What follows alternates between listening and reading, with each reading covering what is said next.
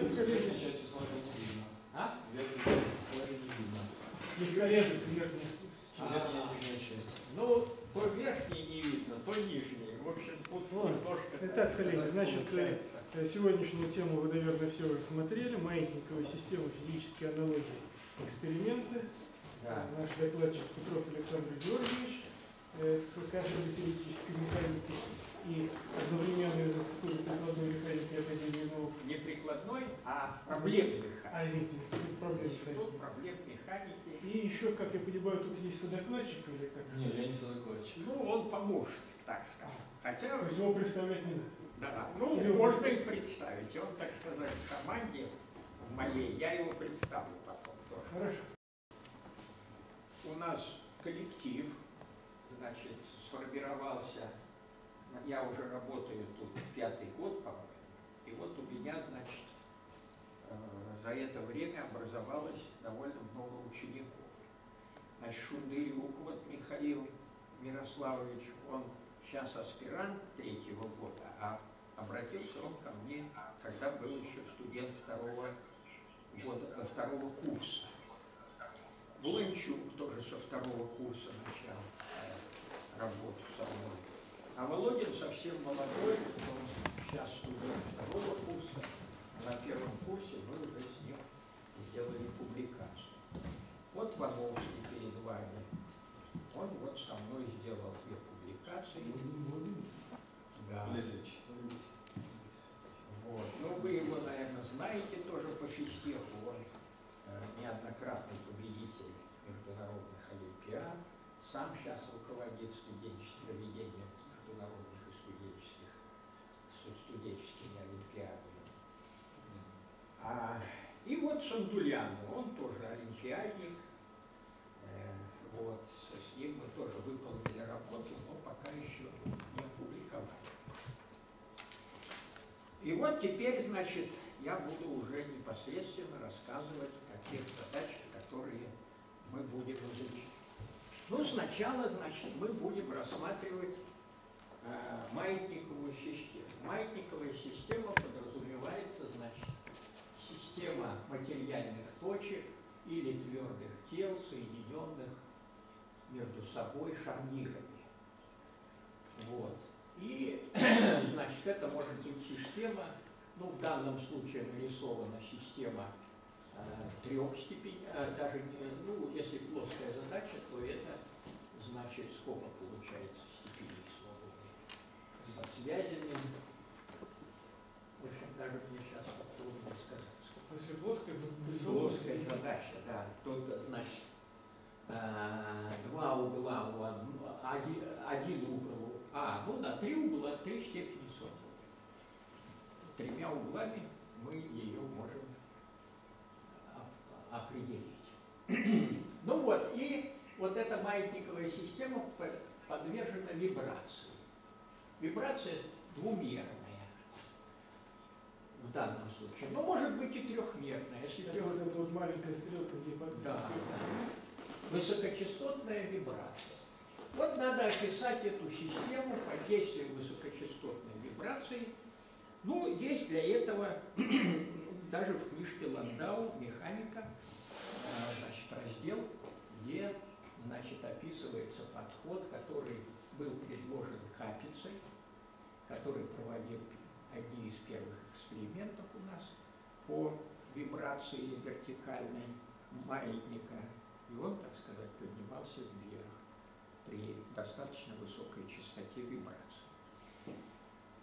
Ну и вот он предложил теорию, как это все описывать.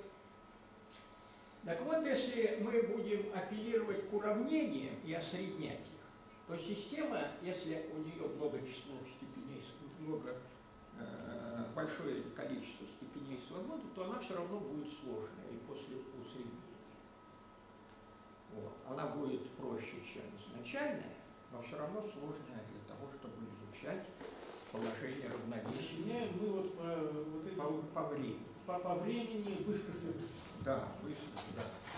Ну вот есть методы двухмасштабных разложений, там всякие и так далее. Так вот, я считаю, что это все-таки неэффективно таким способом проводить усреднение. кафедре же тоже что-то подобное используется, потому что когда рассматривается задача о дрейфе частицы в слабо О. неоднородном магнитном поле, то мы тоже усредняем по быстрому вращению Да, и оставляем э, уже уравнение для Вот. медленного движения Совершенно верно. Вот Это, это, как я понимаю, тот же самый. Да, это способ э, двух, метод двух масштабных разложений. Если система у нас Гамильтонова, то можно предложить более эффективный и более простой способ. Если работать не с уравнениями, а именно с функцией Гамильтона. Вот оказывается, значит, Какие курсы? Первый. первый Ну, раз есть первый, то что такое функция Гамильтона, лучше сказать. Но функция Гамильтона – это сумма кинетической и потенциальной энергии системы. Вот, грубо говоря, так. Выраженные через обобщенные координаты. Да, через э, координаты и ну, специально вводятся импульсы. Так вот, э, значит, вот э, такая функция, значит, сразу позволяет писать уравнение. И вот если уравнение записано в виде функции через то уже мы можем только апеллировать к функции Гамильтона. Так вот, функция Гамильтона изначально, когда задача у нас э, не стационарная, не стационарная задача, она зависит от времени. А если зависит от времени, то задачу эту тяжело изучать. Тут нет те- теоремы, например, о сохранении энергии. А вот если нет времени функции Гамильтона, то у нас сохраняется гамильтониан. То есть индукция. Да, вот хотя бы это. А потом, если гамильтониан представляется в виде э, квадратичной формы по координатам и квадратичной формы, скажем, по э, импульсам, то, значит, у нас э, мы можем э, теорему Лагранжа получить, аналог теоремы Лагранжа, значит, для устойчивости этой системы. А если вообще у нас, значит, квадратичная форма по импульсам плюс потенциальная энергия, зависящая от координат, то, значит, вот мы можем к этой системе применять теорему Лагранжа об устойчивости этой системы. А вот для нестационарной задачи это нельзя сделать. Так вот, после усреднения мы как раз получаем э, систему, в которой есть кинетическая энергия, квадратичная функция по импульсу, и потенциальная энергия, которая зависит только от обобщенных координат. Значит, как провести усреднение?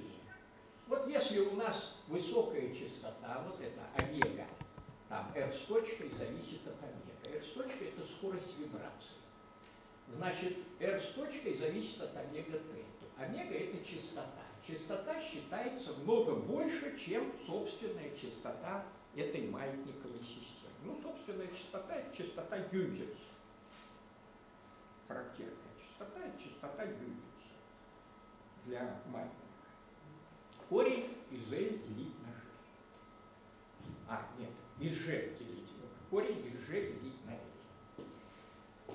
Так вот, значит, осоединить очень просто. Оказывается, вот э, исходная кинетическая энергия, вот она э, пишется таким образом. Это, а, значит, э, кинетическая энергия материальной точки, плюс еще э, вектор вибра. Вот э, скорость э, э, каждой массы, и к ней надо прибавить скорость этого вибратора. Значит, получится э, скорость в абсолютной системе ко- координат. И вот их надо э, сумму квадратов этого посчитать. Получится у нас квадратичная форма по скоростям обобщенным, линейный член, ну и член, который э, зависит только от времени. Его, кстати, уравнение Лагранжа этот член не войдет, его можно вообще выбросить. Ну и вот теперь, если мы осредним по периоду, если у нас вот эта периодическая функция, то вот этот член функции Лагранжа BI на PG были у нас производная по времени, интеграл по периоду от этой функции 0 будет. И у нас останется, смотрите, какая соединенная функция будет простая. Значит, квадратичная форма по импульсам и функция, которая от импульсов не зависит. Вот эти два члена, они от импульсов не зависят. То есть можно сказать так, что мы э, превратили, преобра- после этого соединения вместо кинетической энергии вот этих колебаний получили добавку потенциальных Совершенно верно. Вот это энергия, вибрационная энергия,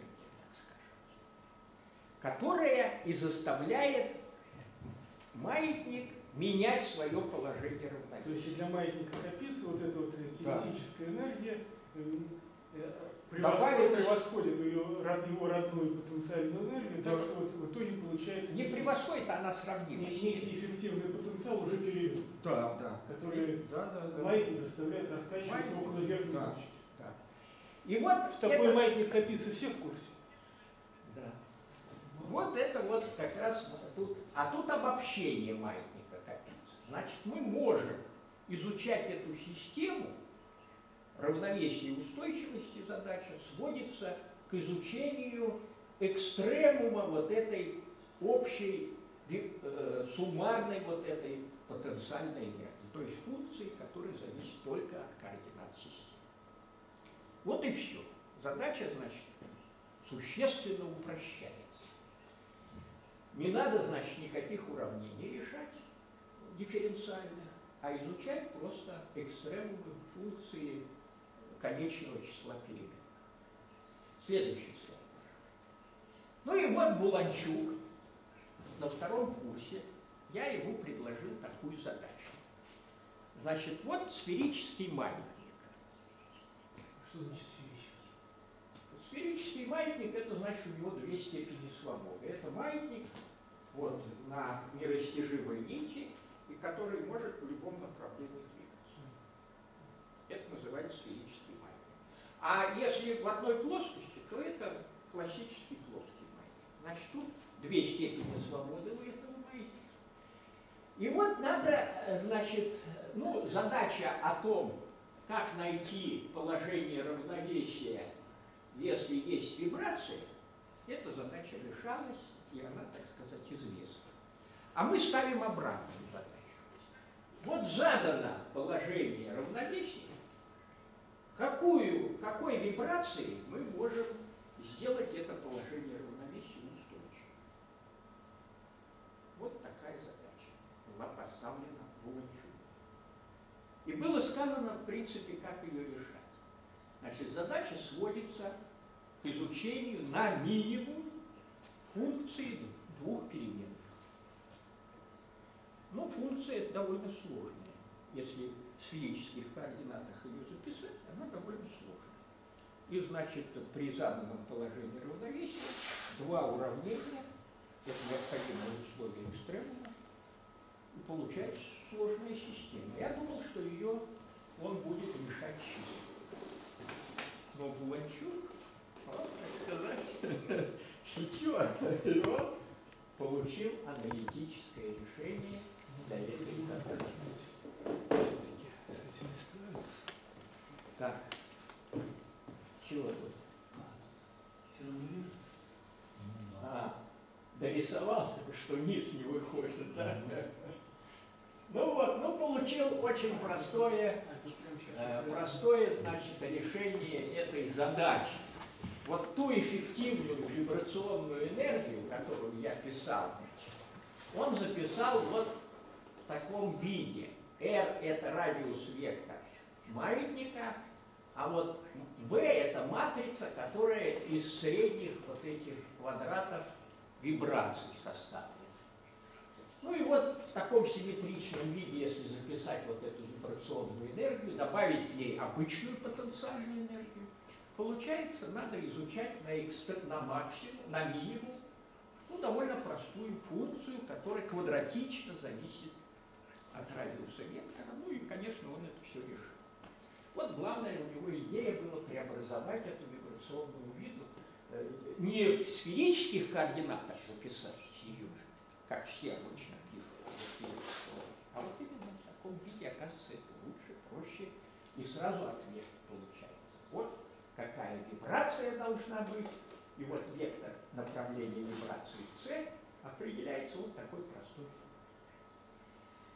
Альфа тут произвольный параметр, для устойчивости надо его подчинить ограничению. Следующий, пожалуйста. Ну, разогнались мы, значит, дальше.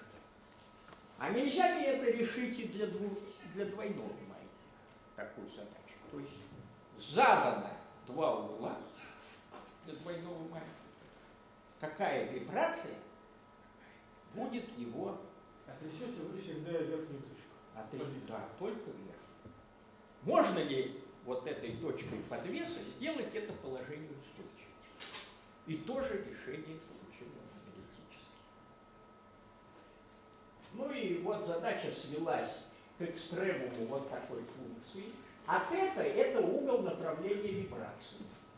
Значит, нужно найти вот этот θ, угол направления вибрации, и амплитуду вибрации, вот это среднее v квадрат, отнесенное к gp. Вот два параметра из двух уравнений экстремума. Ну и он эту задачу аналитически решил. Вот следующий слайд, пожалуйста. Вот решение, которое получил э, Буланчук. Я формулы писать не буду, тут видно все на чертеже. Значит, вот эти Что по оси? область двух углов, А. θ1 и θ2, которые определяют положение, все- все положения равновесия. Θ меняется, каждый угол θ меняется от минус π до π. Ну и вот получается, значит, что? Что положение равновесия это только заштрихованное э, параллель- параллелограммы. А белые параллелограммы это те области, где нельзя добиться с помощью вибрации положения равновесия. Оказывается, ну, двойной маятник, конечно, трудно стабилизировать. Не все положения можно стабилизировать, только вот эти. И вот тут есть зона устойчивого равновесия, она еще меньше. Вот она темным зеленым цветом. Там, значит, вот эта эффективная потенциальная энергия имеет минимум. Следующий слайд. Ну вот, к сожалению, тут, э, значит, вверх, э, верха нет, ну я скажу просто так. Значит, теперь вот мы э, дальше подходим к изучению тоже динамики гамильтоновых систем методом нормальной формы. Вот есть такой метод, который был предложен для дифференциальных уравнений Пуанкаре. Значит, Пуанкаре предложил значит, решать задачу таким образом. Значит, если есть у вас равновесие в системе, в системе, вот дана система дифференциальных уравнений, и есть равновесие, автономная, автономная система дифференциальных уравнений. Ну, тут, наверное, первокурсники, да, не знают, что такое автономная система дифференциальных уравнений, а? Или как? Не обращать мне на это внимание или обращать? Ну, не зависит от этого. Да. Значит, правая часть дифференциальной системы дифференциальных уравнений не зависит от времени. И, ну, ноль, предположим, является положением равновесия. Что это значит? Если, если нули подставить в правую часть, то будет, так сказать, решение получится. Так вот, в окрестности нуля, если делать разложение, то у нас будут линейные члены э, в правой части, потом квадратичные, кубичные и так далее. Вот, значит, э, оказывается, можно систему эту с помощью замен упростить максимально возможно так, что э, система будет, значит, если учитывать только квадратичные члены, то, значит, ну, она очень сильно упростится. И вот э, в гамильтоновой э, э, системе, значит, тут еще надо исхитряться, чтобы при таких заменах гамильтонова система превращалась в гамильтоновую. И вот когда эта нормализация проводится, то при нормализации у нас появляется дополнительный интеграл. И вот если система с двумя степенями свободы автономная, то у нас имеется один интеграл. и система курса интеграл движения – это сохраняющаяся величина. сохраняющаяся величина, да. А вот второго нет, и система не интегрируется, и, так сказать, она устроена. А если вот нормализовать ее, то появляется второй. Что значит интеграл? А интеграл – это функция, которая сохраняется в силу уравнений движения. Записать это можно вот в таком виде, как вот я записал. df по dt – это, так сказать, э, полная производная по времени в силу уравнений движения записана. Функция зависит от координат и импульсов. И мы должны дифференцировать эту функцию, она еще и от времени зависит, а частным образом по времени, еще учесть, что Q и P зависят от времени тоже. А Q с точкой и P с точкой в силу уравнений движения через ура... А? Доска есть, если что. Ну, что? Да. Ну вот, а Q с точкой, если тут все писать, то, конечно, это... Значит, у нас Q с точкой равняется dH по dP, а P с точкой равняется минус dH по dQ. Вот это уравнение Гамильтона. Так вот, если вы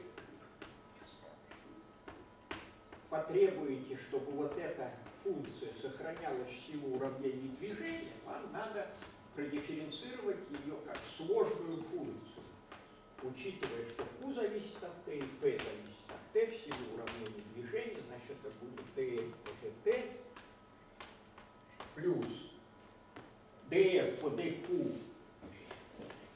Df по dq на Q с точкой, а Q с точкой dh по dp, а тут минус df по dp, точно так же на dh по dq.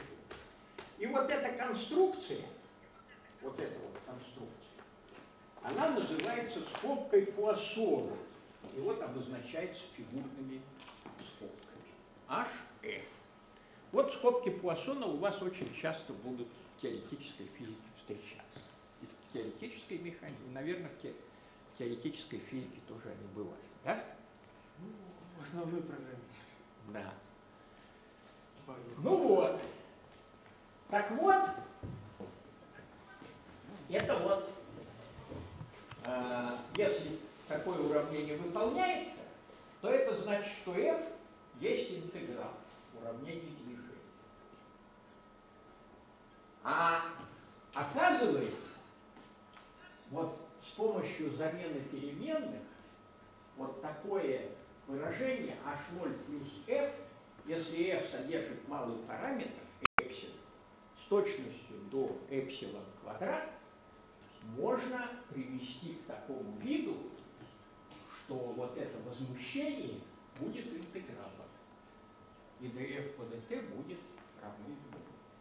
Замена переменных это находится тоже э, довольно с помощью простого алгоритма.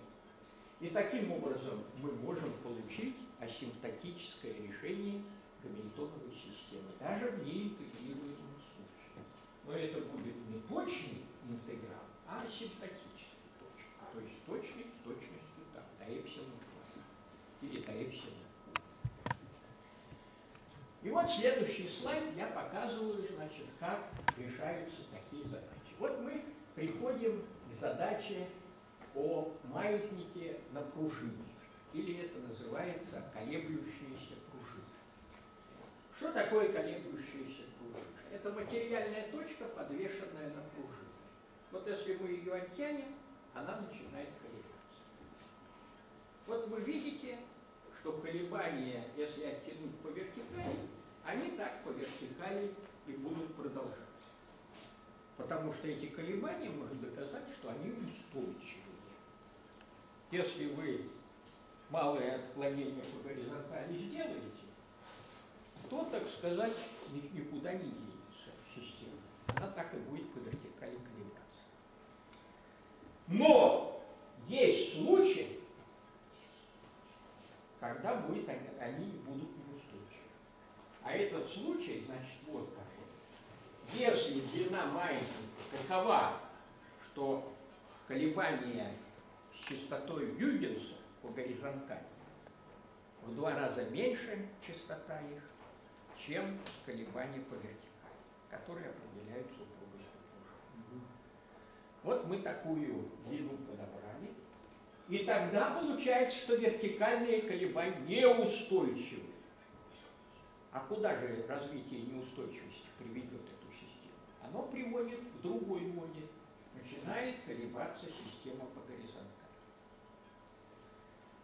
Вот, вот тут видно, значит, вот колебания по вертикали переходят в колебания по горизонтали. И это еще не все. Что интересно, вот плоскость колебания, вы посмотрите, вот она, пло- пло- плоскость колебания, от меня к доске. А теперь вот через следующий период посмотрим, куда плоскость эта повернется. Она изменяется, эта плоскость колебания. Вот получилось изменение. То есть плоскость колебаний повернулась на некотором Дальше, сейчас опять будут вертикальные колебания, потом будут горизонтальные колебания, и плоскость еще изменится. Плоскость колебаний еще изменится. Вот как описать это явление? А как еще раз надо подобрать? А? Как еще раз надо подобрать длину?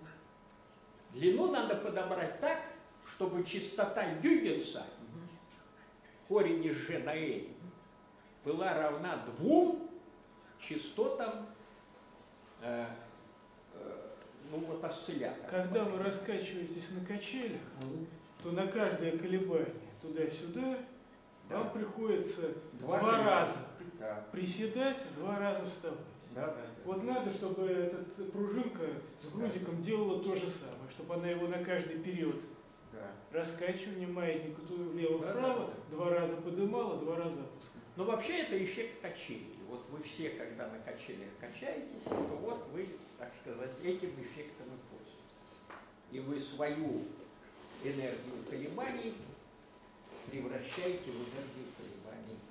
Вот А если, если у вас крутильные колебания, то Тоже тот же самый эффект качелей, то же самое отношение Да, частот, да. Вот я, я вот Володе говорил, давай сделаем крутильный. Ну, так до этого дела не дошло. Ну, сложно это сделать.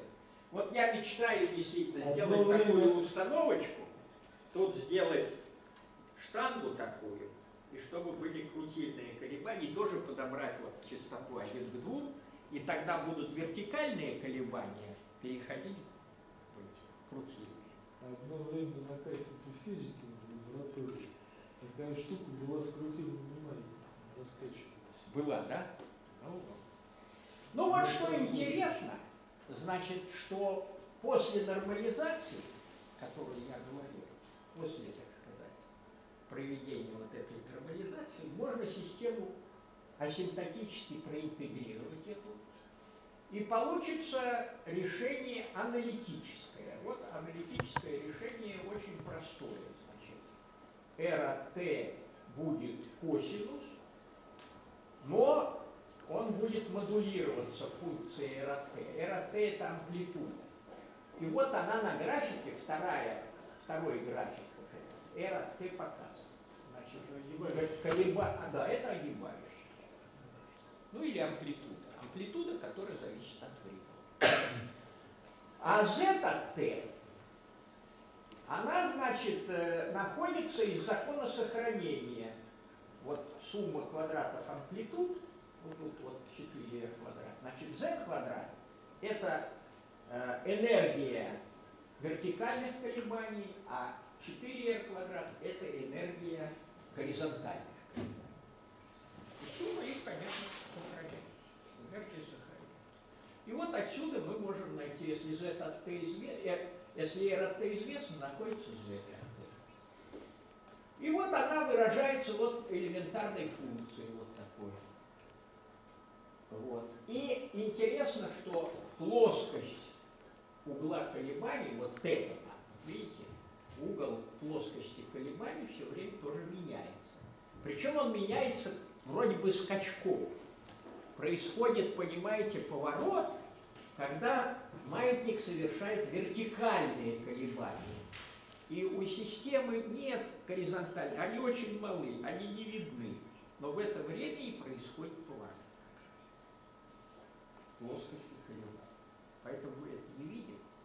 А потом они развиваются, когда переходит вертикальная мода в горизонтальную, мы видим, что произошел поворот. Так вот, этот угол, он находится вот по простой формуле, она тоже найдена. Тета-1 равна арктангенс 2 эпсилон 1, а там делится на эпсилон 1 квадрат минус эпсилон 2.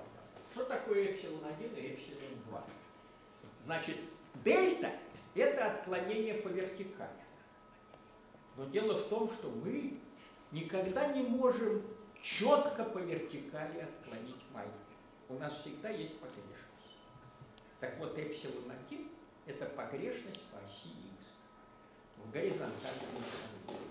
Она очень маленькая, она меньше дельта. А эпсилон 2 – это кинетический момент который тоже мы придаем маятнику в начальный момент, случайно. Мы отклоняем, но случайно придаем и горизонтальный отклонение, и кинетический момент. Вот от них все и зависит. Вся период перекачки от этих случайных отклонений. Следующий, пожалуйста, слайд. А вот теперь что интересно. Значит, оказывается, эта задача физики очень распространенная, а маятник это есть лишь иллюстрация простейшей такой системы, которую можно на опыте пронаблюдать. А вот, например, система более сложная. Пузырек газовый. Если он будет колебаться в жидкости при изменении давления, если мы внешнее давление изменим, он начнет колебаться. Так вот, у него есть моды еще деформационные. Значит, если никаких резонансов нет между модами и радиальной частотой, то просто будут радиальные колебания, так же, как у маятника. А если есть резонанс один к двум с какой-то модой, то начнется перекачка энергии радиальной моды колебаний в какую-то соответствующую деформацию. И вот этот анализ Вановский и сделал. Он, значит, получил уравнение с учетом вот этой деформационной моды и в резонансе получил, ну, следующий слайд, пожалуйста. Вот в резонансе он получил. Значит, вот тут показана э, седьмая деформационная мода. Значит, когда раскладываешь э, по сферическим функциям деформации, значит, они определяются разложением, ну, типа э, ряда Фурье. Вот. Вы, конечно, не сферических функций, ни, ни, ни ряда Фурье не знаете еще, да? В общем, вот можно так вот представить деформацию э, по э, всяким вот этим модам. Так вот, оказывается, когда перекачивается энергия у пружинки, то амплитуда горизонтальной моды в два раза больше вертикальной. Это находится из закона сохранения энергии. Значит, при одной и той же энергии энергия вертикальной моды будет равна энергии горизонтальной моды, если амплитуда горизонтальной моды в два раза больше вертикальной.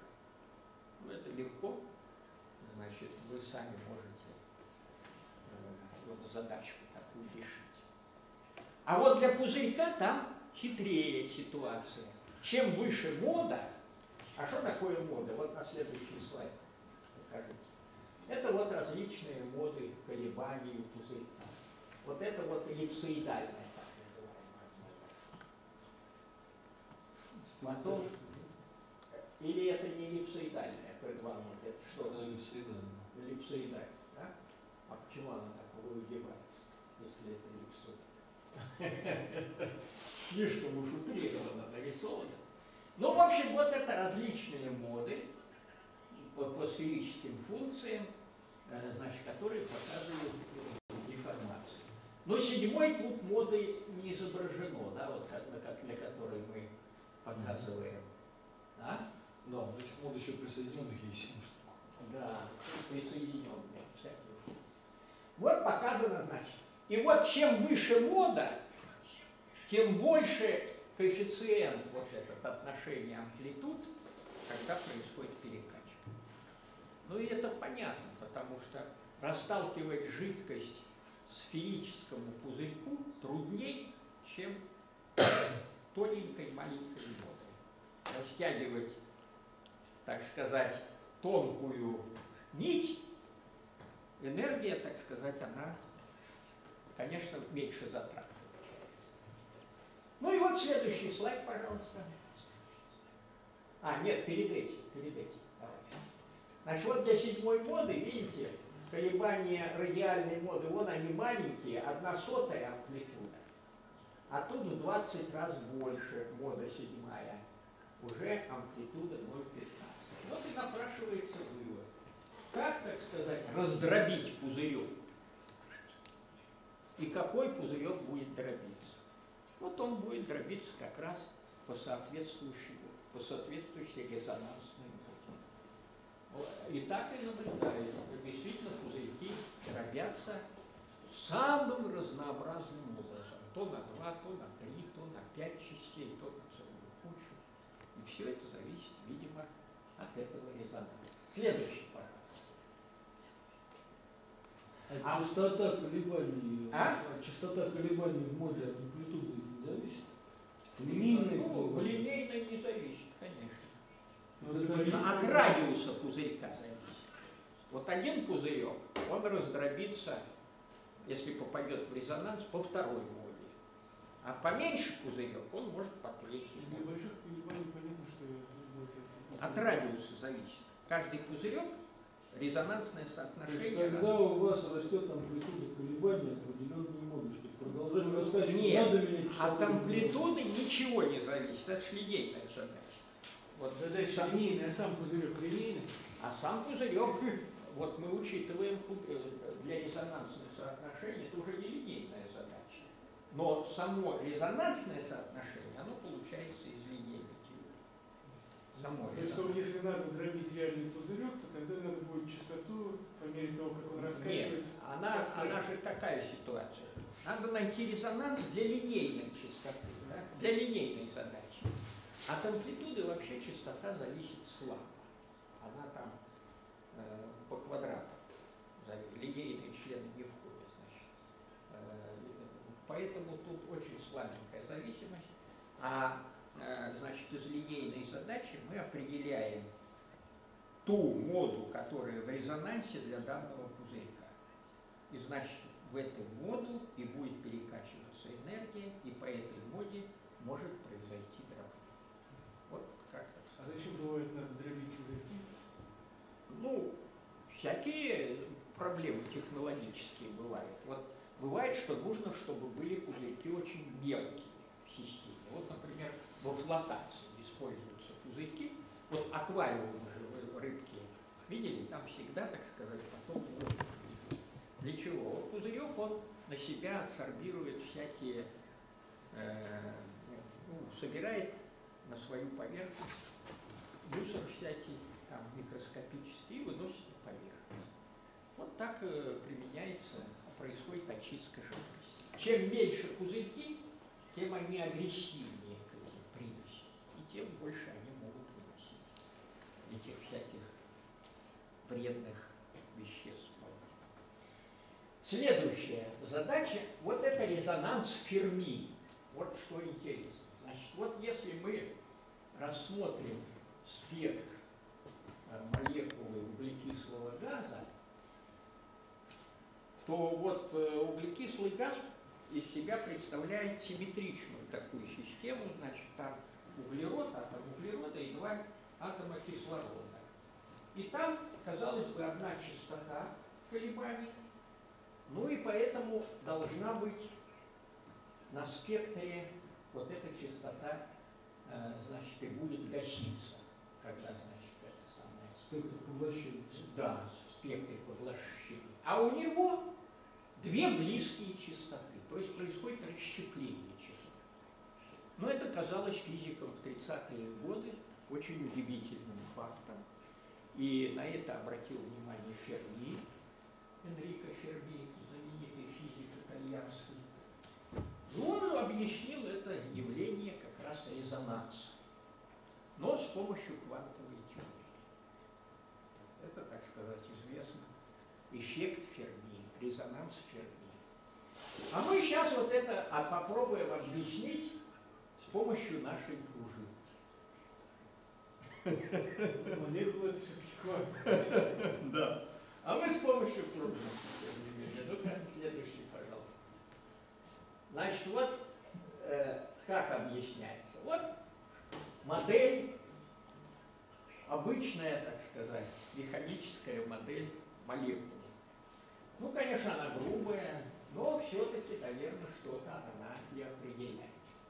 Значит, вот масса углерода, они притягиваются, значит, вот э, атомы кислорода. И есть положение равновесия. Около положения равновесия могут быть колебания. И э, эти колебания происходят с частотой, которая на спектре-то и определяется. А почему же появляется другая частота? А дело в том, что вот если посмотреть э, частоту вертикальных колебаний этой системы, то вот при соответствующих соотношениях между массами получается, что вот эта частота вертикальных колебаний, Вертикальными вы что называете? ну вот на чертеже то, что вертикально. То, что на чертеже. Конечно, сверху или снизу? снизу. Вот снизу показано по оси Y. Вот по оси Y колебания. То есть отклонить по оси Y.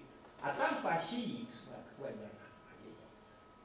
Вот если они соотносятся один к двум, эти частоты, то у нас получается как раз вот эта пружина. То есть колебания горизонтальной моды переходят в вертикальную. И поэтому, значит, периодически у нас происходит вот эта вот перекачка энергии, и этот процесс периодически повторяется. А мы видели, что как описывается вот это вот колебание, оно модулируется низкочастотной функцией синус дельта t. Синус – это основная частота, вот, которую мы видим на спектре, но она модулируется, вот амплитуда меняется примерно как синус дельта t. А дельта маленькая, много меньше, чем омега.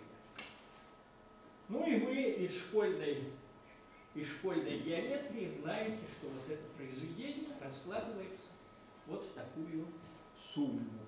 И мы видим, что происходит две, то есть это сумма двух частот, которые отличаются друг от друга очень немного. Вот это и есть расщепление частот, которые объяснял Ферми с помощью квантовой теории. Это мы и видим на спирте. Две частоты с отклонением дельта. Так, следующий, пожалуйста. Ну, а вот это вот тоже интересный эффект. Маятник Фуко. Значит, еще в позапрошлом веке Фуко, французский механик, он предложил э, наблюдать вращение Земли с помощью маятника. Значит, Земля же вращается, значит, маятник будет колебаться, а Земля, так сказать, будет вращаться, и поэтому мы будем относительно Земли видеть, что и маятник отклоняется, плоскость его колебаний отклоняется. Но мы рассмотрим эту задачу в нелинейной постановке. И вот получается интересная вещь. Значит, если мы проведем нормализацию и решим эту задачу с учетом квадратичных и кубичных членов уравнений для маятника. Квадратичных и кубичных, то есть очень точно. Не только линейные, а квадратичные и кубичные. Так вот, что получится. Значит, если, э, если во-первых, вот тут вот есть параметр, э, параметр угловой скорости Земли, омега большое, видите, вот это омега большое, это угловая скорость вращения Земли. Фи – это широта. Значит, максимальный эффект Фуко, он на Северном полюсе будет, когда фи равно пи. На экваторе его не будет. Ну, это очевидно. Да? Так вот, если у нас нет вращения Земли, вот это омега равно то тогда мы что получаем? Значит, вот А2 равно нулю, и получается просто эллиптическая орбита у маятника. Ну, это обычный сферический маятник. Если мы его отклоним, сферический маятник, то он будет, вообще говоря, двигаться по эллиптической орбите. Потому что у него небольшой может быть кинетический момент. Так, а куда съехал? Ну вот. Так вот это надо учесть, когда мы изучаем маятник Фуко, эллиптичность орбиты вносит погрешность в наблюдаемый вот этот эффект. И вот смотрите, что получается. Так. Ну, Значит, вот смотрите. Тут вот матрица поворота с частотой А2, а, она определяет прецессию. Что такое прецессия? Прецессия – это когда у вас эллиптическая орбита вот эта вращается с небольшой скоростью. Вот. вот. Главные оси эллипса вращаются. Да, главные оси эллипса вращаются. Вот это мы и наблюдаем. Э, э, это и будет, так сказать, эффект вращения Земли. И вот это первое слагаемое, вот частота этой прецессии определяется первым слагаемым омега синус Но нелинейный эффект еще вот дает это слагаемое. Лямбда на x0, y0, L квадрат. x0, y0 это площадь эллипса, которая в сферическом маятнике. Она всегда есть, потому что мы всегда вносим возмущение поперечное. И вот смотрите, чтобы эффект маятника Фуко наблюдать, надо, конечно, чтобы вот эта погрешность, связанная с площадью эллипса, была много меньше. Ну, например, 10%. Давайте потребуем, чтобы она была 10% от эффекта Фуко. Но мы видим, что вот эта величина обратно пропорциональна длине маятника в степени 5 вторых. То есть чем больше маятник, длина маятника, тем это слагаемое меньше. И тем лучше наблюдается эффект Это неустранимая погрешность, она, так сказать, маленькая. Так вот, поэтому и добиваются. Значит, у нас первый маятник Фуко демонстрировался, вы знаете, где? А? Да, в Исаакиевском соборе. Высота, длина маятника 90 метров, больше 90 метров, 92 так. вот, мы потребуем, чтобы вот эта погрешность была 10%. Тогда нам надо, вот x0 это большая полуось эллипса, у маятника Фуко в Исаакиевском соборе она была 2 метра. Так вот, чтобы была погрешность 10%, надо, чтобы поперечное отклонение у эллиптической орбиты было 3 сантиметра. 3 сантиметра. 2 метра и 3 сантиметра.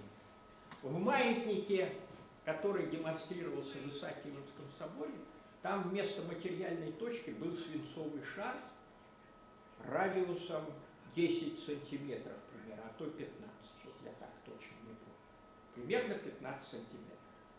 Наблюдать отклонение 2 сантиметра для такого шара очень трудно. Вот вы отклоняете, там, значит как, вот вы на 2 метра отклоняете этот свинцовый шар и отпускаете. Но когда вы отпускаете, вы немножко его толкаете туда. И увидеть, что там 2 сантиметра, вы очень трудно проследить. Поэтому иногда получалось так, что отклонение не в ту сторону получается. Вот. Это я вот сам замечал, да, когда был в Исаке.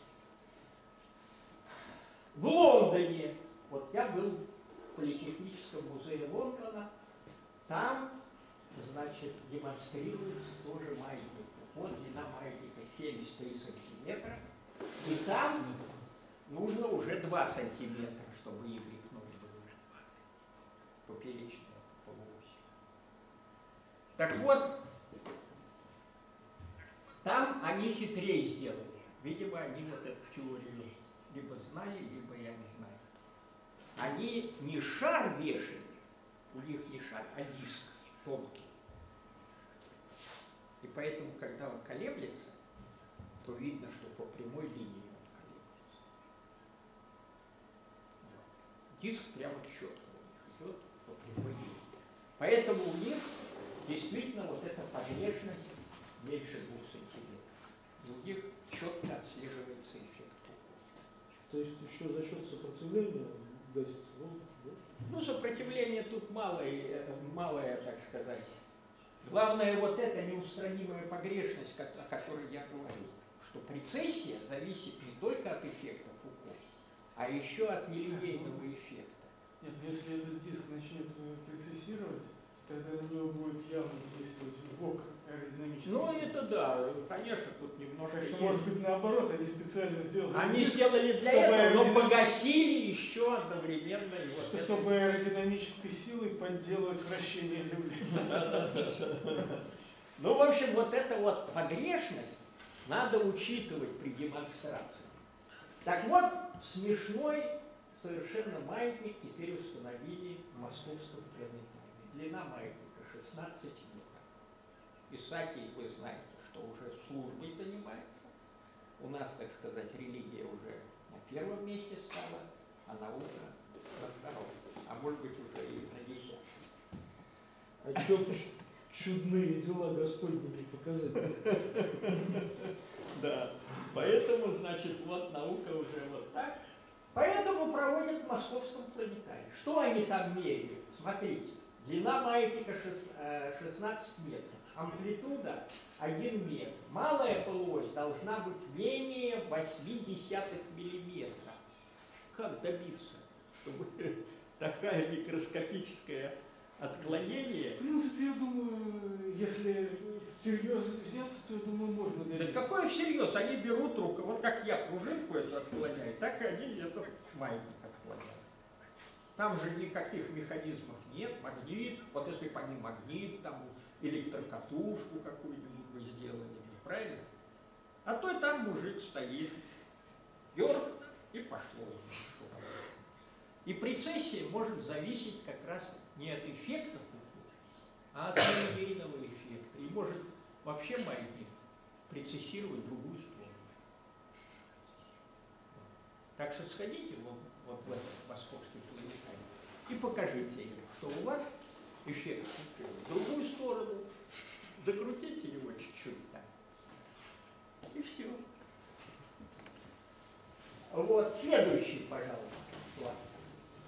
А вот это вот недавно, э, собственно, ну, задача и так уже совершенно очевидная, но уж очень много, э, значит, об этом пишется в интернете.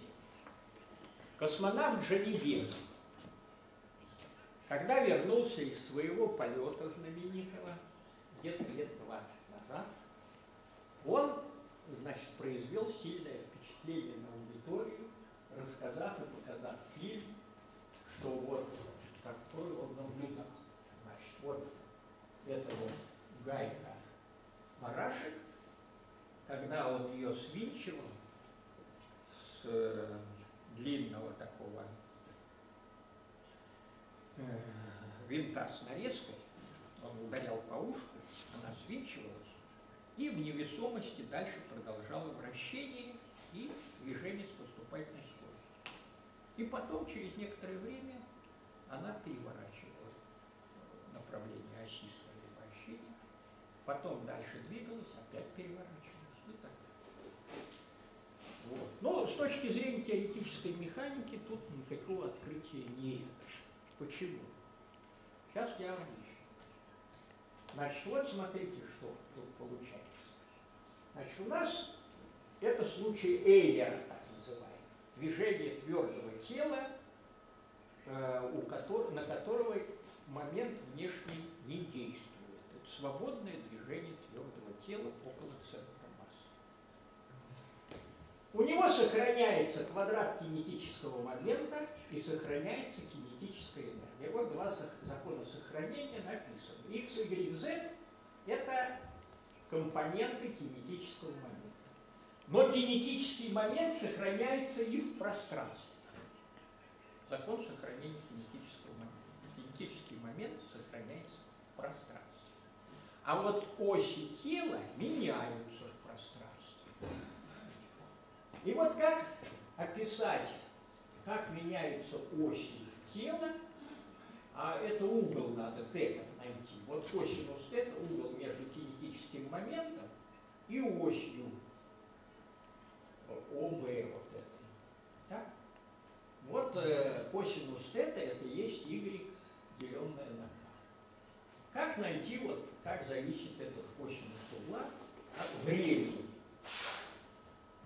Ну, если мы, значит, геометрически изобразим эти два закона сохранения, то вы видите, что первое, э, первое уравнение – это геометрическое место точек сфера, а второе уравнение – геометрическое место точек эллипсоид. Эллипсоид-то вам давали уже с тремя осями? А? Был такой? А? Наверное, еще эллипсоид инерции на первом курсе должны проходить. Нет, а сам эллипсоид, геометрическая фигура эллипсоид. Ну вот, так вот, э, нам нужно найти пересечение этих двух э, фигур. Сфера и эллипсоид. Эллипсоид это сплюснутая сфера. Так вот, пересечение это и будет траекторией вот этого кинетического вектора кинетического момента в осях твердого тела.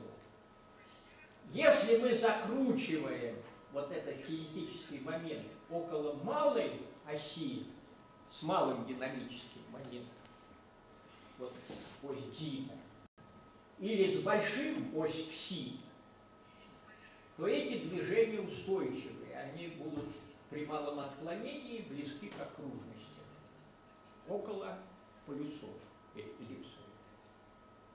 И там ничего происходить не будет, там ось не будет менять. Только почему-то спутники вокруг оси с большим динамическим Большим Ну, правильно, с большим или с малым. А если с малым, то И с малым. Ну, это как-. Нет. А Вот, значит, теория говорит, что либо с большим, либо с малым. А вот со средним, со средним, это уже будет неустойчивое движение. И что интересно, значит, э, ну вам будут рассказывать на втором курсе, значит, траектории эти находятся в, эллиптических функциях, так называемых. Это не элементарные функции, а в эллиптических функциях находятся решения. А вот если мы будем двигаться по сепаратрисе, вот есть такой случай, пересечения эллипсоида и, и сферы, э, это вот называется сепаратрис. Это просто будут две плоские траектории. две окружности плоские. Вот эти, по этим двум сепаратрисам движение описывается вот такой простой формулой. Точно. Косинус тета равно тангенс гиперболический альфа т, где альфа зависит от осей инерции, от, э, от моментов инерции А, Б, С, от главных моментов инерции и кинетического момента. Ну и если у нас чуть-чуть от, этой, от этого направления будет начальное отклонение, случайное, то будет движение происходить по траектории вот этой МН, так, близкой к сепаратрисе. Вот, видите? И она, так сказать, пойдет от полюса B к полюсу B', потом вернется обратно и так далее. И описываться будет это то тангенс альфа. Не вернется, перевернется и так и останется. Нет, она так и вот, она же симметричная, эта сепаратриса. То есть не сепаратриса, а это вот орбита. Она же там идет, она до полюса не, не доходит. Вот эта орбита, она там, значит, вот я тут нарисую. А, вы- Значит, вот а, не самой фазовые траектории, если Ну развернуть. Вот это вот сепаратрисы. Движение по сепаратрисам, оно отличается таким свойством, что в центре сепаратрисы точка двигается бесконечно долго. Она по сепаратрисе туда никогда не попадет. Вот видите, там где альфа Т, он никогда в единицу не, не обратится. Он Гиперболический. гиперболический, да. А вот если мы отклонимся отсюда, ну тут склейка, вот это склеивается с этим. Доски. Эта точка склеивается с этим. Правильно? Склеивается. И вот по сепаратрисе, если мы двигаемся, то вот таким образом мы двигаемся. Все-таки не по сепаратрисе, а рядом с. Рядом, да. Вот. Чуть-чуть при малом отклонении, а точно-то в узел этот мы никогда не попадем. Потому что если нам повезет, и мы сдвинем нашу систему строго по сепаратрисе, Да. тогда она перевернется и обратно Вот. не А можем ли мы строго? Вот тут показано, что вот этот период альфа Т0 зависит от параметра μ, который определяется отклонением а, угловых скоростей, вот Q0 направлено по главной оси ЦБ, а P и R перпендикулярны. Так вот, если мы вот этот параметр вычислим, и он будет очень маленький, там 10 минус 10, предположим, да? Под логарифмом это будет ну, 5-10, конечное число, которое наблюдается. И этот период, так сказать, не будет астрономически большой. Он будет там несколько секунд все равно. То есть что, вот, э, Жанибекову повезло, что для него, э, что у него была такая гайка, что у нее оказался как раз промежуточный момент Да, да, инерции, Конечно. э, Да, относительно оси Лемке. конечно. Ну, да. Так вот по ее форме так не догадаешься, что он промежуточный. Да, он промежуточный, действительно. Мы как раз посчитали, вот в этой работе я Володю дал задание. Значит, смоделировать это твердое тело с помощью цилиндра, а, значит, цилиндр, и к нему приделать две лопаточки. И посчитать момент инерции этого объекта. Вот он посчитал, так сказать, и цифры получились промежуточные. Ну и вот эта статья опубликована в докладах Академии наук. Я думаю, что теперь, по крайней мере, можно будет людям показывать, что Земля не перевернется у нас, как они говорят. А? Да, а то там, э, да, деньги, проекты даже. Вот как, так сказать, сделать так, чтобы Земля у нас не перевернула направление вращения оси. Так что вот. Ну, э, понимаете, сейчас дело в том, что время э, в науке шарлатанов. Много шарлатанов, которые, так сказать, такие проекты псевдонаучные проталкивают, и за них они получают деньги хорошие. А вот если мы проект свой подадим, скажем, ничего такого особенного не будет, это случай Эйлера, Эйлер 300 лет назад это все изучил, нам никаких денег не дадут. Давайте следующую лекцию проведем на тему, как с шарлатанами бороться. Ну вот надо в интернет такие вот статьи, наверное, как-то помещать. Статьи тут как бы не помогают. А Потому статьи что не помогают. Потому что тот метод, который использует интернет, ну, например, расчет всяких индексов цитирования, Да, да, да. а э, последнее время и измерение знаний с помощью ЕГЭ, Да, да, да. он как бы приводит к обратному Да, результату. да, да. Ну, получ- Получается, что Джанибеков обеспечил вам вот э, хороший видеоролик с э, очень наглядным Да, да, это примером э, как вот, вот этого классического решения. э, вот э, в случае Эйлера. Можно этот ролик показать? Вы его не, не, не- Ой, есть он у меня, ну надо где-то там искать далеко. В общем, нет, я сейчас не готов. Жалко, да. Но вы в интернет, в интернет заходите, эффект Жанибекова. И тут же будут выскакивать ролики там и все это. Фильм будут показывать, как Жанибеков на орбите летит там в невесомости, запускает этот. Э. Так что все это вы легко увидите сейчас. Это немножко напоминает анекдот про то, как вот э, э, про волчок тип-топ, про то, как э, Да, это тоже вот эффект тип-топа, переворот вот этого. вас Это нет тоже, с собой случайно? А? Нет случайно с собой?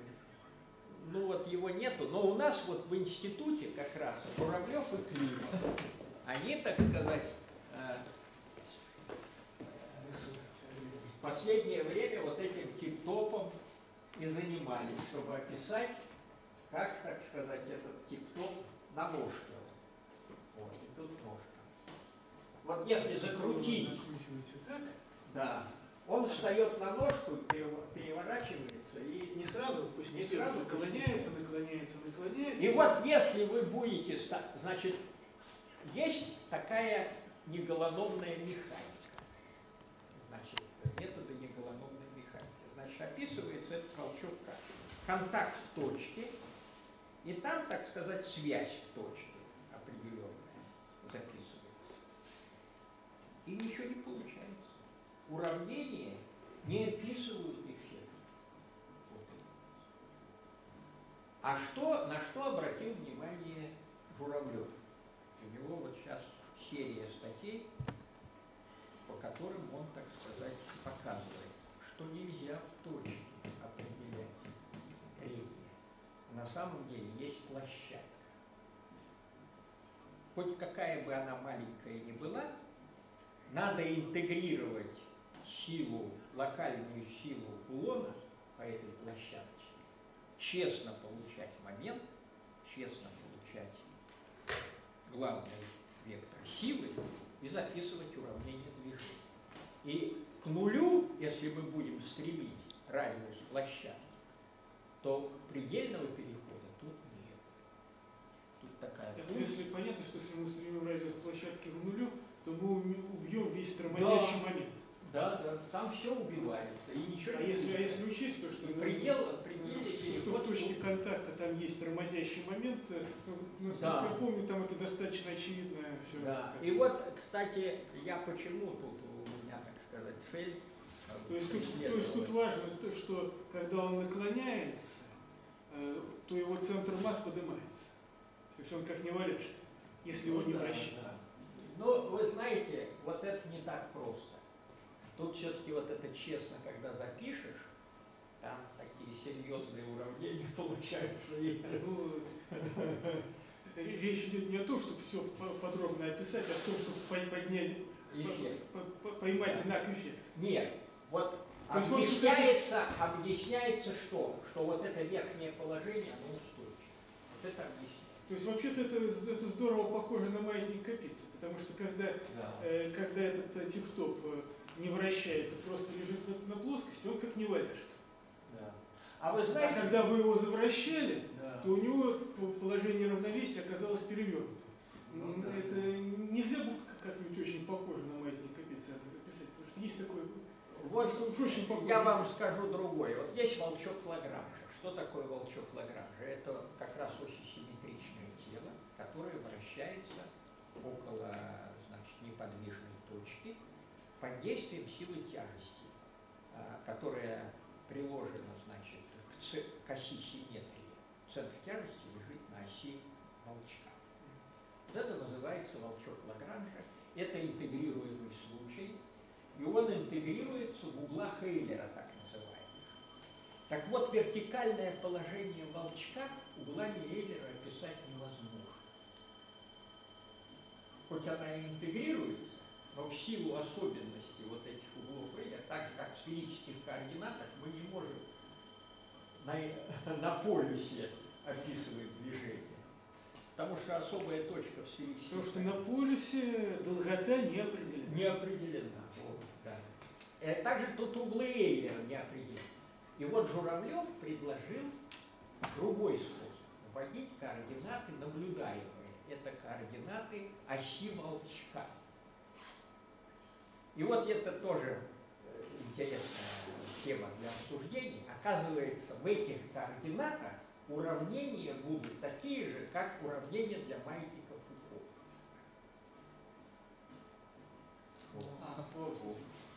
Вот. А, они Там, такие. кажется, Дженебеков наш- нашелся. А, Давайте я свет притушу, чтобы было лучше. да. Вот. Тайные знаки. Передать. Вот. Ну не дали ему перевернуться. Сейчас будут. Сейчас он дальше. Это как раз на тему приворота Земли передачи Вот, была. вот пока. Вот. Видишь, дальше. Вот.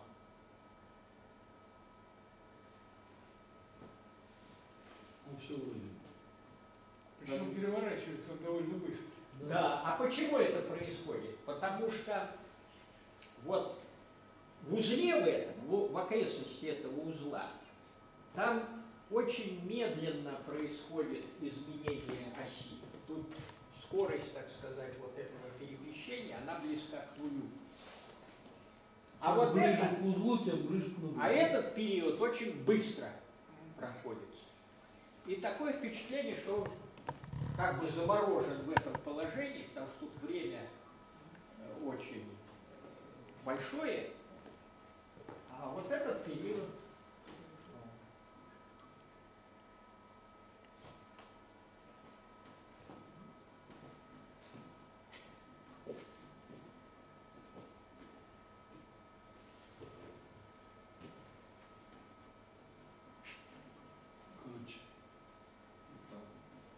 ну, Короче.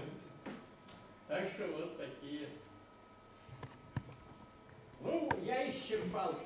Да, так вот с, с этим волчком Лагранжа, если описывать их около положения вертикального положения, то это получается маятник Фуко. И там есть такой э, критерий Маевского устойчивости волчка около вертикального положения. Он сразу следует из этих уравнений, из э, теоремы Лагранжа.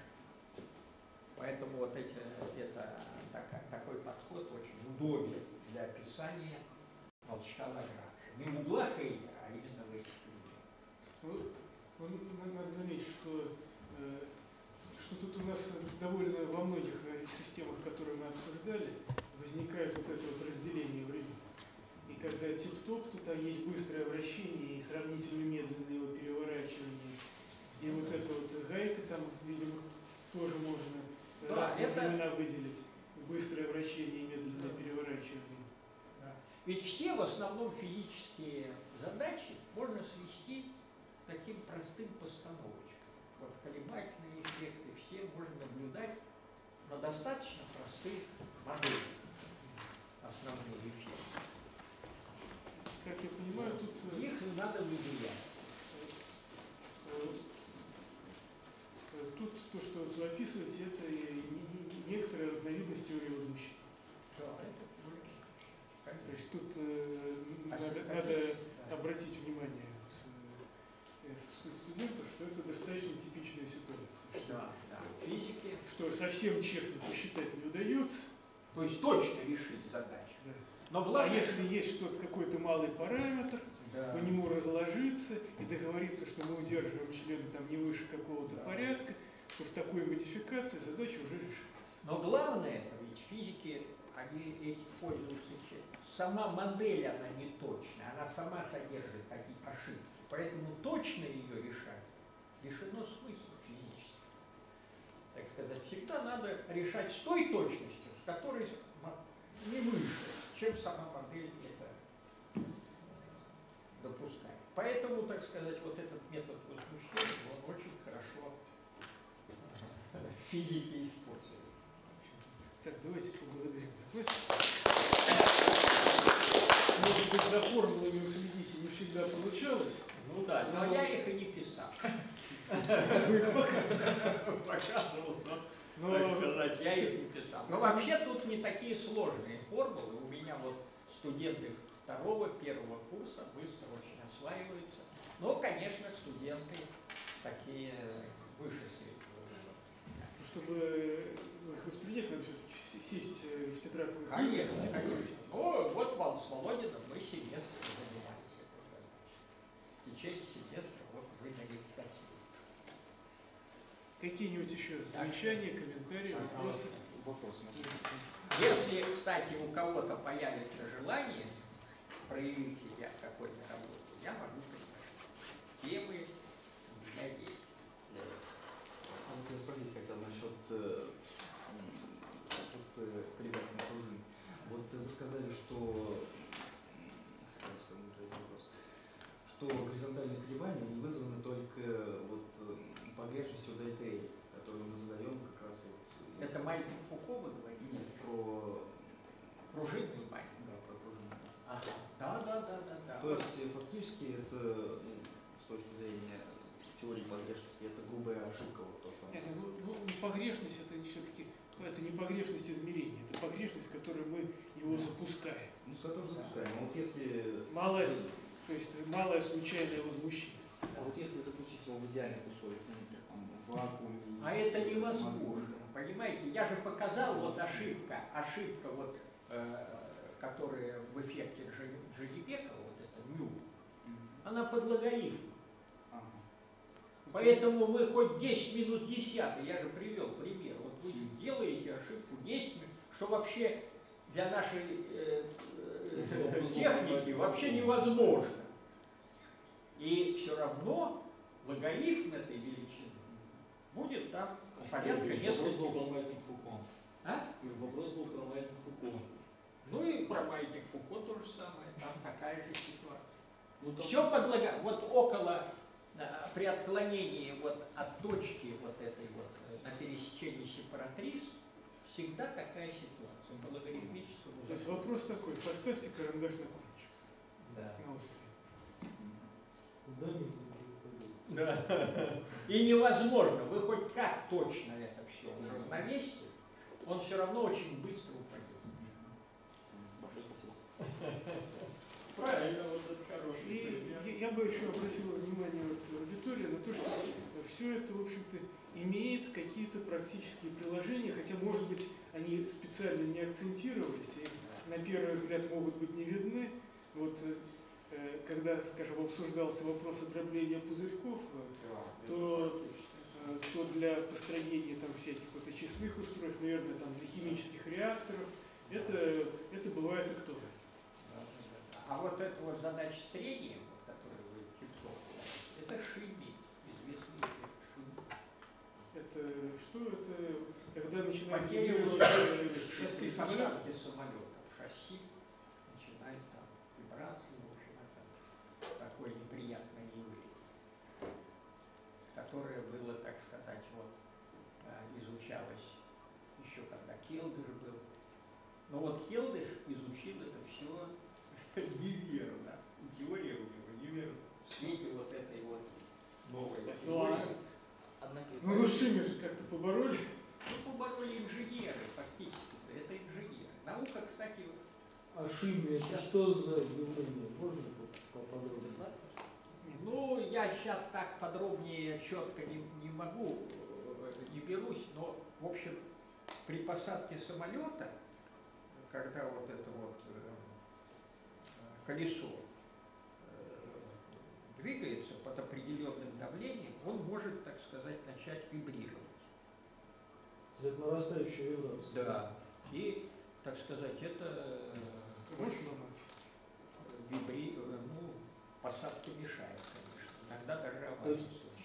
Типа флаттер тоже Да, а флаттер это другая ситуация. Там, значит, это уже аэродинамическая тревога. А тут природа трения.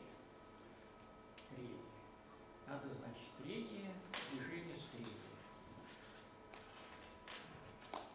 Вот, Так что- Если вот говорить про маятник Фуко, то вот, э, то, что вот вы описали вот, что в виде диска маятник в Лондоне, вот это, конечно, вызывает э, большие сомнения в том, что применима ли к нему эта модель, потому что тут явно будут аэродинамические силы, несимметричные. Ну, они, они очень малы. Аэродинамические силы здесь очень малы по сравнению с силой тяжести, с проекцией. Нет, Но если этот Но у диск, вас, э, если этот диск идет под плоскость- углом, Он же движется-то э, не, не по плоскости по своей, а он движется именно по, в сторону малой оси. нет, ну тут надо смотреть, как, как этот диск разворачивается, и когда он Диск разворачивается, каким- разворачиваться. как- А он, Какие на а, а- а его периодически останавливает, вы что думаете? Он там чуть-чуть эффект продемонстрировал, там отклонение какое-то. Ну, как- чуть-чуть. как он этот эффект продемонстрировал? Если он этот эффект продемонстрировал, если при этом этот диск уже движется не в своей плоскости, то на него действуют несимметричные Там аэродинамические силы, которые как раз будут его отклонять. Ну да, ну вот я это, я Поэтому это, это, довольно это отдельная долго. задача, Вот. которая имела бы смысл э, Да, я вот отдельно довольно проанализировать. долго смотришь, ну сколько можно у установки? Ну минут пять, правильно? Потом уже идешь к следующему. Так за пять минут же плоскость там не намного поворачивается. Она чуть-чуть повернется. Ну, это, так сказать, на аэродинамическую силу, видимо, никак особо не влияет. Вот. И, а потом они сами подправляют. Они, конечно, за этим чтобы это самое. главное вовремя поправить Да. Это же корректировка, всегда происходит корректировка. Вот. Так что это самое. вы имеете в виду, что при повороте плоскости колебаний диск уже будет идти как бы под Ну углом, да, да, да, да, да. Под углом будет аэродинамический. Может быть, них диск именно так, что он тоже может вращаться. А вот Ну, тоже да, недолго. Тоже недолго. Я вот был в этом Исаакиевском соборе несколько раз. Это же до 80-х годов где-то он был. В 90-е годы его закрыли. И быстро, ну довольно, ну минут пять проходит, минут пять, и он начинает по эллипсу двигаться. И, так сказать, эта эллиптичность нарастает, нарастает, и его останавливают и заново. Но это пять минут, все-таки видно, что за пять минут происходит прецессия. Но я-то думаю, что вот это из-за этого отклонения, конечно, нелинейный вот этот эффект вот влияет. И этот эффект нелинейный тоже э, Журавлев. Тут надо еще смотреть, как, скажем, устроен подвес.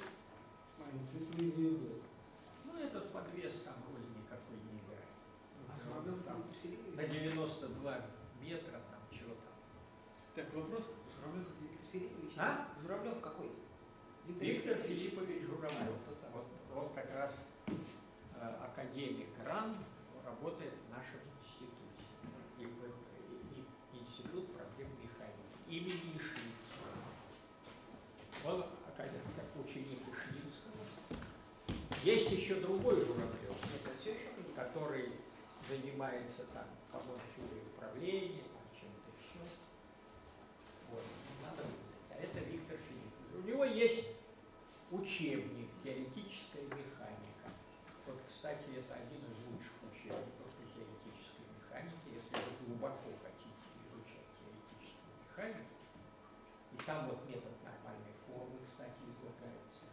А еще он заведовал кафедрой терминологии. Раньше заведомо. Что? Раньше Да, заведомо. раньше.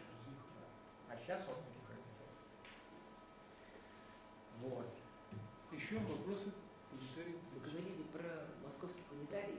По-моему, там как раз Дженебеков сейчас и заведует всем. Что? По-моему, сейчас Дженебеков заведует московским планетарием, если я не ошибаюсь. А, ну, я не- надо вот ему сказать про эту штуку. Ну, он, он же и свой эффект, вот этот эффект показывают в музее по космонавтике, эффект Женевека, как необъясненный э, учеными эффект. Понимаете? Но ведь Джанибеков-то он как? Он обратился к научному сообществу. Вот объяснил. Вокруг него скучковалась группа сразу людей, которые, так сказать, научное сообщество. И начали ему объяснять, что вот это очень грандиозно, это очень, так сказать, важно, Земля может перевернуться и так далее. Ну и сориентировали его вот на этот лад. А то, что говорили, ну вот Журавлев в том числе, на это же внимание не обращает, это же сложно, тут же надо сепаратрису понять, что такое, тут же логарифм знать, что такое, понимаете. Нет, но сепаратрис это все слишком понятно. Надо же собрать деньги на ремонт провала, чтобы не проваливалось. Вот у нас, к сожалению, превалирует вот это направление. Вот поэтому вы, молодые, должны переломить эту ситуацию и мракобесие остановить у нас. Сро- Срочно принять 58 статью, что ли? Да, что-то такое надо делать. Иначе мы в средние века будем переходить, будем изучать, сколько ангелов на кончике копья поместится. диспуты проводить. Ну, если вопрос кончатся, давайте еще раз.